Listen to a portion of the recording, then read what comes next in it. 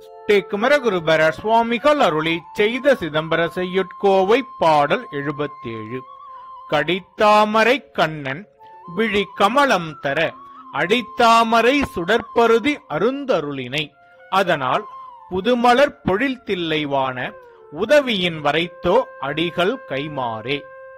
இதன் பொருள் நறுமணம் பொருந்திய தாமரை கண்ணனான திருமால் விழியாகிய தாமரை மலரை அடியில் தர அவனுக்கு சுடரையுடைய சக்கராயுதப் படையை அளித்தாய்.